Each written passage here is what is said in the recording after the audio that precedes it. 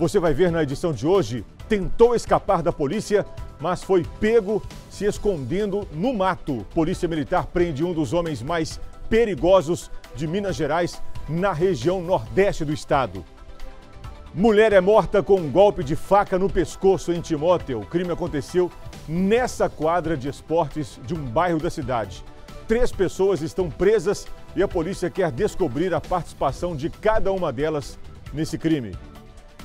Em outra cidade do Vale do Aço, 15 pessoas foram parar na delegacia de Polícia Civil, entre elas mulheres e um adolescente. O grupo participava de um baile funk com bebidas, armas e drogas.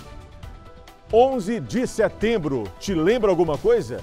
Aqui no Brasil, o Código de Defesa do Consumidor está ficando mais velho, 33 anos hoje. Agora, no MG Record pela TV aberta, e no facebook.com barra TV Leste. MG Record.